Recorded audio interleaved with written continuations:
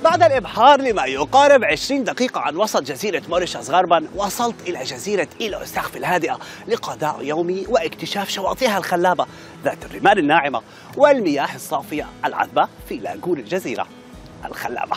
هيا بنا.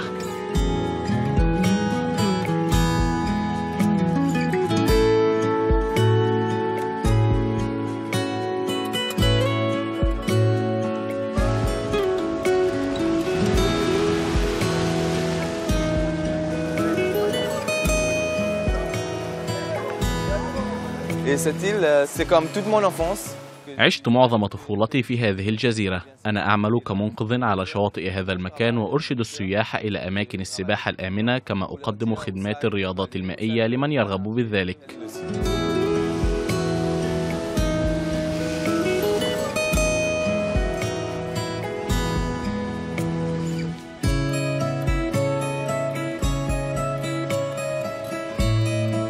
خيارات الرياضات البحرية عديدة في هذا المكان إذ يمكن الإبحار على متن قارب شراعي أو الغوص في أعماق المحيط ومشاهدة الأسماك الملونة وشعاب المرجان أو ركوب منطاد ومشاهدة الجزيرة من أعلى.